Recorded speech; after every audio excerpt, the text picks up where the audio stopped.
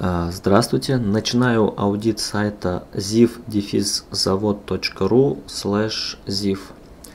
А, сайт буду рассматривать э, по пяти критериям. Это первое впечатление, э, текст, веб-дизайн, э, уникальность и верстка. А, по каждому пункту отдельно пройдусь, скажу, поставлю оценку и в конце подытожу все буду сравнивать по пятибалльной шкале. Так, первое впечатление. А, когда посетитель переходит на сайт, он видит вашу ссылку ziv-завод.ru ziv. А, зачем вам вот этот слэш непонятно, потому что здесь при переходе, ну то есть страница свободная, можно на ziv завод ее перенести, и вот этой вот лишней подстраницы не будет. А, далее, когда человек переходит по этой ссылке, он ожидает, что там будет завод под названием ZIF. Ну вот, как бы, что написано, то я ожидаю. А здесь какой-то арсенал машиностроения, и у меня немного диссонанс, типа туда ли я попал, если вот там написано одно, здесь другое. Это не, ну, не сильная какая-то ошибка, но вот она присутствует. А, так, предполагаем, что этот сайт будет рекламироваться по запросу дизельные компрессоры для пескоструйных работ. А, причем здесь отбойные молотки я не очень понял, но это сейчас мы чуть позже разберем, когда текст будем смотреть. А, если бы человек не знал языка и попал бы на сайт, а, то он бы увидел на заднем фоне какой-то завод, и здесь вот это оборудование. И здесь, ну, понятно, можно предположить, что это завод, на котором делают это оборудование. Визуальная часть здесь прямо в цель попала, все клево, угадывается то, что нужно. Если это дизельный компрессор для пескоструйных работ, то значит все, как, то есть визуальная часть со своей задачей справилась. Текст скорее нет, чем да. Э, то есть здесь про винтовые промышленные компрессоры, официальный сайт завода. Э, здесь вот такая путаница, здесь ZIV завод, здесь арсенал машиностроения, здесь официальный сайт завода винтовые промышленные компрессоры. То есть, ну, когда я читаю, я думаю, что вот это вот название винтовые промышленные компрессоры, так завод называется. Потому что здесь написано официальный сайт завода, и дальше как бы сам завод обычно пишет название. А, но, скорее всего, это относится вот к арсеналу. Короче, вот эти вот три названия, они как бы непонятно, кто вы вообще. То есть идентификация даты не происходит, которая должна легко читаться.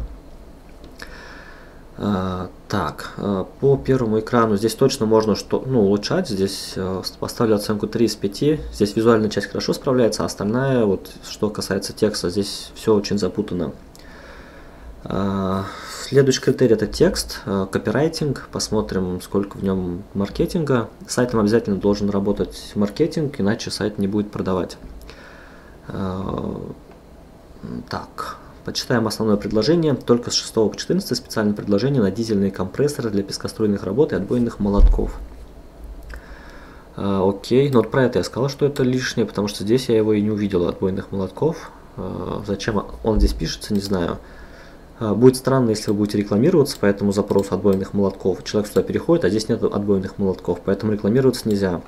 А раз вы не рекламируетесь по запросу отбойные молотки, то и писать об этом здесь не нужно. Это, очень, это вот это ну, просто неуместно. А, далее, снижение цен на ZIF PV 607, старая цена такая. А где новая-то? Почему цену не показали?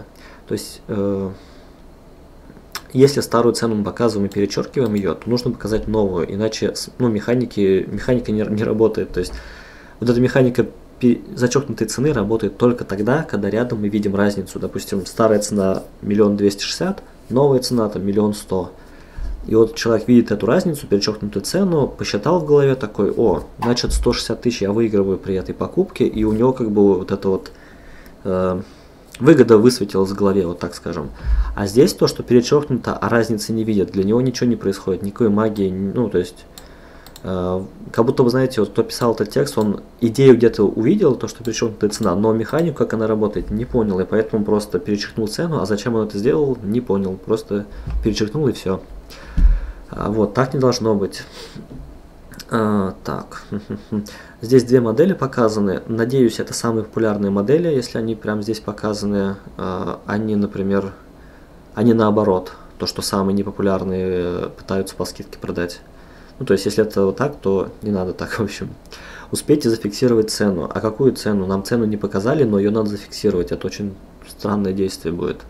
Оставьте заявку, зафиксируйте цену. Тоже непон... ну, непонятные слова, короче. Э, популярные станции. Так это все-таки станции или компрессоры дизельные? Ну, наверное, ладно, это скорее всего синонимы, наверное. Посмотрим, что здесь по тексту. Здесь написана модель, снижение цен, старая цена. Э, ну, здесь никаких характеристик нету, хотя хотелось бы, когда оборудование продают, особенно там за миллион плюс, хотелось бы как-то поподробнее. Здесь есть кнопка подробнее, если клиент догадается ее нажать, он нажмет. Если нет, то вот это будет все, что он как бы узнал об этом. И это печально. Э, лучше всего делать вот здесь э, характеристики, там 3-4 строчки, самые базовые характеристики, которые всегда нужно знать, там, например, производительность, э, тип двигателя, если у них он разный, если одинаковый, не надо вообще его писать. Что там еще может быть? Блин, что важно? Габариты могут быть им важны. И расход топлива, например. Ну, просто наугад. И вот их вот здесь вот разместить, а когда подробнее человек нажимает, тут уже все подробно описано. И как-то, наверное, ну не, вот, не такой простыней. А здесь выделение неправильно сделано. Надо наоборот выделять слово производительность, а вот это не выделенным текстом делать. А здесь наоборот сделано, из-за этого глаза как-то прям устают от этого непонятного вот мельтешения. Так не надо с типографикой работать. А, там еще фотографии были. Ну ладно, это позже фотографии посмотрим. Так, по тексту реализованные объекты. Э, объекты реализованные. Вы же ну, не, не объектами занимаетесь. Ну ладно. Э, подобрать компрессор для вашего объекта. Они под объект как-то покупаются, что ли? Я не очень понимаю, что это за техника, поэтому некоторые вопросы будут такие глупые задавать. Свяжитесь с нами, официальный дилер по РФ ГОСТ СПБ. Э, вот это я не понял, что такое по РФ ГОСТ СПБ официальный дилер ПРФ, ГОСТ, СПБ. Так, официальный сайт завода, официальный дилер. Так не пойму, вы дилер или завод? Стало неясно. Ну хорошо, так. По тексту. Текст здесь очень плохой, его, ну, с точки зрения маркетинга, здесь нету текста. Здесь просто какие-то факты накиданы рандомные, Э, никакой пользы они не несут, не призывают к, к, к действию, оставить заявку. Ну, то есть призыв есть, но он вообще как бы в никуда просто. Э, нет никаких выгод, там, не знаю, про гарантию что-нибудь, как они ремонтируются, занимаетесь ли вы ремонтом, как вы доставляете хоть что-то. Нету текста о компании, я не знаю, кто вы, я не могу купить у вас оборудование, оно стоит, блин, миллион с лишним, а вы просто no name. Так, ну, такие продажи не происходят просто кому попало. Поэтому текст не справляется с задачей, текст просто убивает этот сайт. Э, нужен отдельный человек, который умеет работать с текстом. По тексту поставлю оценку 1 из 5, хуже, чем этот текст написать нельзя уже. Э, так, следующий критерий это веб-дизайн, э, внешняя часть сайта. Сайт сделан на тильде, на стандартных блоках. В принципе, здесь сложно промахнуться, ну там все как бы плюс-минус хорошо сделано. Цветовая схема здесь классные цвета, вот оранжевый и вот этот вот темно-темно-синий, приятный для вашей сферы самое то. А, так, и на этом заканчиваются плюсы дизайна. А, типографика тоже относится к дизайну, то, как выглядят шрифты. Здесь очень плохо работать со шрифтами, есть выделение. А, выделение вот тоже как с этими перечеркнутыми числами. Где-то увидели механику выделения, как она действует, не поняли, решили выделять все подряд выделять имеет тот смысл, где вы как бы, когда читаете, вы что-то вот интонацию усиливаете, что вот, вот здесь весь сок предложения, вот, вот это нужно выделять. Например, от того, что выделили пескоструйных слова, не понимаю для чего, или отбойных молотков для чего вообще выделять, если здесь нет отбойных молотков. Это бессмысленное выделение, как будто бы просто вот наугад для красоты давай вот это слово выделим и вот это слово, будет красивенько. Но это не так, это тоже Э, важная часть работы с текстом, когда мы выделяем все подряд, э, мы как бы теряем внимание клиента. А если мы выделяем только важное, то он, значит, клиент начинает там со второй, с третьего экрана читать только то, что мы выделили. Ну, в первую очередь читать то, что выделили, потому что он понимает, что для него выделяют именно то, что важно услышать, увидеть, не пропустить. И он, типа, хотите, не хотите, он все равно прочитает, вот если, если правильно выделение расставить.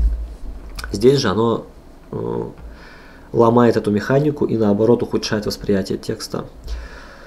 Так, здесь по тексту тоже глянем, здесь чуть тоже написано.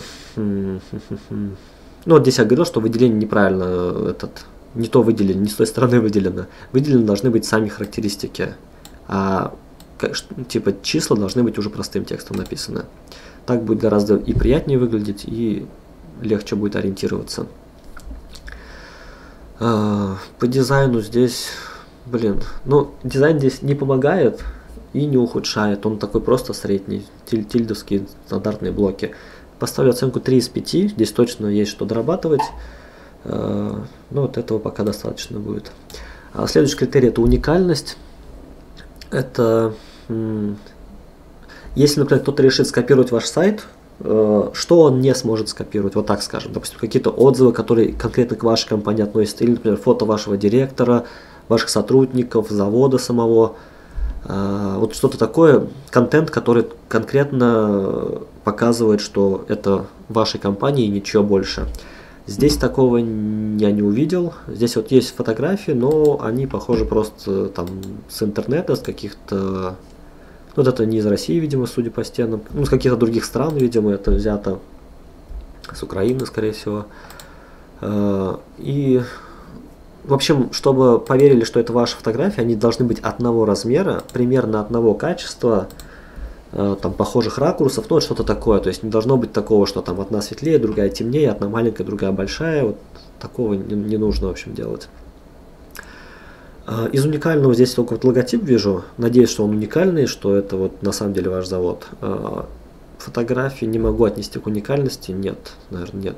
Уникальности здесь, собственно, нету. Здесь нечего даже оценивать, короче. Здесь оценку могу поставить только один из пяти вы с этим сайтом выглядите как компания no name, то есть непонятно кто вы, что вы, нет никакой информации о вас, невозможно ничего о вас узнать, э, все, что хотите, вот контакт хотим посмотреть, а здесь только почта и телефон, и адрес, и, собственно, все. А из этого вывод никакой нельзя сделать. А у вас очень ну, дорогостоящее оборудование, и его не получится продавать, если клиент не знает, кто вы. Ему обязательно надо проверить вас, он должен убедиться, что вы там в зеленой зоне в налоговой, или как это называется, когда вот у вас налогами, с кредитами все в порядке. А, ну, вот это то, что к спарку относится. А, ну, вообще увидеть там, не знаю, ваших сотрудников, что вы работаете, что у вас есть благодарственные письма от других компаний, что вы ведете много лет эту деятельность, что у вас есть свой офис – Э, не знаю, там какое-то оборудование, раз вы завод. А, в общем, подтверждения какие-то должны быть этому. Тем более, если вы заявляете, что вы завод, то фотографии самого производства обязательно должны быть. Должны быть сертификаты, лицензии, допуски, вот это вот все. В таком виде оно не продастся. Ну, то есть вот сколько стоит оборудование и то, какой сайт, нет. Вот с таким сайтом вы могли продать оборудование, которое стоит, там, не знаю, до 200 тысяч. Там может, там может быть что-то такое, чисто ценой обойтись и все. А здесь нет, здесь на такое оборудование они обязательно будут требовать гарантию, как ремонтировать ему важно узнать, а обучите ли вы их персонал пользоваться этой штукой, какие вопросы там с доставкой, откуда она вообще едет. А, то есть, ну, базовый вопрос нужно закрывать. Здесь ничего из этого не закрыто, и покупка просто невозможна на этом сайте. По открытости оставлю один из пяти. И следующий критерий это верстка, как сайт вообще сделан, а, сверстан. Он сделан на тильде на стандартных блоках, как я говорил. А, здесь он очень плохо, очень криво, вот эти вот, зачем расстояние вот это вот какое-то белое непонятное, вот здесь какой-то вот пустота непонятная, О, отступы какие-то вот, ну нет отступов просто почему-то. А, в общем, все, даже на стандартных крив, блоках как-то умудрились сделать все криво и косо. А, ну, вот такой вот типографики тоже. Такого не должно быть, чтобы слово цена сюда перескочило. Например, ну, правильно, либо так, оставьте заявку, и на другой строчке уже, и зафиксируйте цену. Либо все отцентровать и в одну строчку уместить. А вот такого вот перехода, ну, таких некрасивых элементов не должно быть. Э, здесь тоже вот такая узкое текстовое, текстовое поле такое узкое, ну так тоже не нужно делать. Здесь еще поменьше, здесь где-то я побольше открывал. Вот, вот, вот это вот длинное уже такое. А, ну, кроме, кстати, кто, вот здесь я увидел, кроме того, что о компании, еще и как бы выгоды самого этого неплохо бы описать. Вот здесь вот они описаны, что-то там есть какие-то преимущества этого оборудования. Потому что в таком виде может купить только тот, кто точно знает это оборудование. Он его либо покупал, либо пользовался, либо видел отзывы. И он такой, вот, мне нужен точно ZIF PV 607. Я ищу конкретно его, кто даст ниже цену, я вот того куплю. Вот только в этом варианте может это сработать, но и то, э, ну, клиент зайдет, посмотрит, не увидит компанию, а увидит просто кнопку «Отправить заявку» и как бы, скорее всего, не будет ничего делать с этим. А, мобильную версию сайта не буду смотреть, скорее всего, там все более-менее. Сверстан сайт плохо. На стандартных блоках вообще как бы лучше не делать, лучше на zero блоках. Э, ну, то есть, если вы работаете с кем-то с профессионалом, они стандартные блоки в тильде вообще не используют. Оценку могу поставить только один из пяти. Э, здесь сделано на стандартных блоках, и то все, этот, все криво выглядит. Вот это вот, например, вообще ненужная штука, меню зачем-то. На лендинге э, крайне редко используется меню. Это только если у вас очень длинный сайт, потому что вот этот вот скип, когда происходит, проматывание, то есть, вот, допустим, человек захотел посмотреть реализованный проект, он нажал, и он телепортировался туда, он не знает, он не знает, что сайт промотался вниз. То есть он, ему кажется, что просто новая страница какая-то открылась, что произошло, не знает, наверх он не будет возвращаться. И то есть вся информация, которая была здесь, она потеряна для, для него. Если он нажмет куда-нибудь там в конец, вот он в конец телепортнулся, наверх он не будет мотать, он попробует вниз мотнуть, ничего не происходит, все, сайт закрыли. Поэтому меню это такая штука, что если ставите, нужно смотреть по веб-визору, как люди ведут себя на, на сайте, э, в какой момент они уходят, и будет большой процент отказов после нажатия на меню. Они нажали, потерялись, непонятно, что произошло, закрыли сайт. Ну, то есть это, это может быть сильным раздражающим фактором такое меню. А, поэтому задачи, ну, причин нет вообще меню здесь, здесь сколько, 4 экрана, они могут мышкой промотать это легко, без проблем. А, кнопка просто спросить. Ну, такого не должно быть, должно быть либо задать вопрос, либо какой-то чат, но вот просто спросить, это не действие, это вот, ну, такая странная формулировка, в общем. А, так, э, на этом, пожалуй, закончим. Общая оценка будет 9, э, средняя оценка получается 1,8. Сайты с оценкой ниже 3 я не рекомендую к рекламе в Яндексе, это будут провальные сайты, они просто съедят все деньги и даже ну, не отобьют ни стоимость сайта, ни стоимость рекламы. Сайт нужно хотя бы до тройки довести, и тогда можно попробовать с ним рекламироваться аккуратно, э, и как-то так. Основная ошибка сайта в том, что нету маркетинга вообще, то есть сюда маркетолог не заходил, не трогал. Если нет маркетинга, то есть нет предложения, не описаны выгоды, то и продаж не будет. Э, вот просто показать товар и его купят. Так можно было там, не знаю, в 2000-х годах, наверное, продавать. Сейчас так не работает, сейчас рынок переполнен, профицит всего, э, и можно продать только если вы даете предложение выгоднее конкурентов. Здесь предложения вообще нету. Здесь есть просто перечеркнутая цена и ну, обещание, наверное, что ли, так сказать, того, что у вас цена ниже, но она даже не показана. Поэтому э, просто ну, не будет продаж, потому что нет маркетинга и все. А, вторая ключевая проблема это то, что нету прода... непонятно, кто продает. А, то есть вы о себе ничего не написали, оборудование такое дорогое, никто не будет покупать у первого попавшегося, кто сделал сайт.